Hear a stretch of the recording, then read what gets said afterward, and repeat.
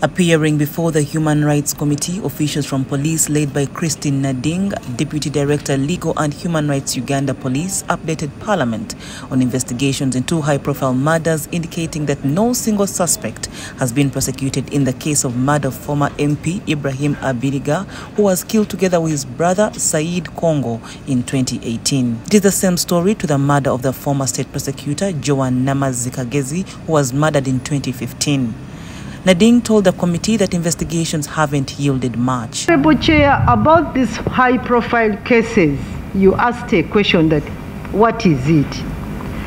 These high profile cases, in the way they occurred, we come up, there are a number of leads. We follow this, we follow that, we follow that, and eventually, usually, many of the leads lead you nowhere. And again, you don't give up it takes you back to the drawing board and again you you, you reconstruct you start afresh maybe the a small lead that you had forgotten you again try to rejuvenate it it goes without saying that we have not closed these cases. The remarks angered Rose Obiga, the district woman representative of Terego, who fired back and expressed concerns of the people of West Nile who are not happy over the delayed justice. Until we have lost Abiriga just to cold blood like that. No, no, no, no this case must be drawn to its logical conclusion.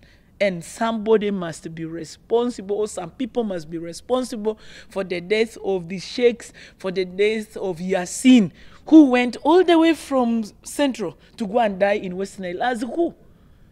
For the death of innocent soul like for Abiriga. Why did Abiriga die? What has Abiriga done on us? Abiriga was shot dead on 8th June 2018 near his home in Kawanda, Wakiso district, and he was among other Ugandans gunned down in a similar manner, and most of these murders have remained unsolved to date. The committee chairperson, Fox Odoi, tasked police to live to public expectations and investigate these cases to logical conclusions.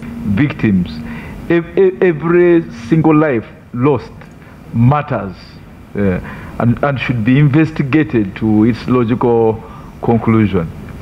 We, we, we should be able to account for every murder committed in, in Uganda and to punish the offenders. Sure. Yeah.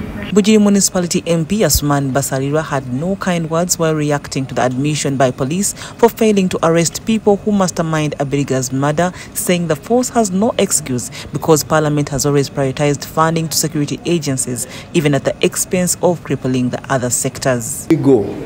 If, if, if uh, my, my people are murdered, where do I go? Because police is expressly telling you that they are incapable of investigating crimes of that nature. So where does that leave the criminal justice system? Number three, I think it is also high time that the leadership of the police resigns because if they are not capable of, uh, of uh, arresting, of investigating, and bringing to book culprits of such heinous crimes, then why are they in their office? Of appeal uh, nullified the conviction and set the suspects free. That basically means that they prosecuted, the police arrested and they prosecuted wrong persons. So that doesn't mean that they should stop investigation. The position of the committee was go back to the drawing board, look for the people who murdered those sheikhs and have them prosecuted. Meanwhile, police has called for the general review of the entire police welfare to budget so that they are able to enhance salaries of UPDF officers, which remains low against high standards of living. An issue of concern to both uh, Parliament and the police management. This financial year, the Parliament of Uganda voted some funds for the construction of barracks, accommodation. But there's also the element of the remuneration to police officers. They report that the lowest police uh, paid police officer, a constable, earns about 300,000. Uh, In the current state of affairs, we all know that 300,000 cannot buy for you uh, food. Report by Fred Kajubi for the news at Parliament.